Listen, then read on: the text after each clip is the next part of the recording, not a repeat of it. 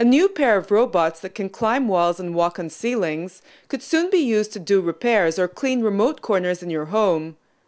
4Bar can step forward thanks to motor-driven plastic bars that move parallel to each other. But rather than using suction cups like other wall climbing robots, it relies on super sticky rubber.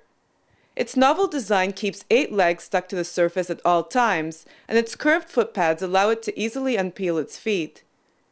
4Bar is also designed to walk upside down and carry a small weight.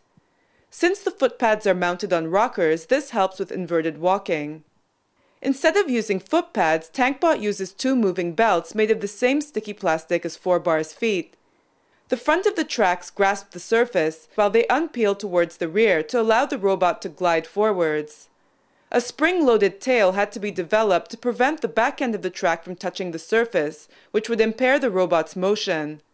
This summer, gecko-inspired hair made from the plastic will be added to the robots. It should make them stick to surfaces even better.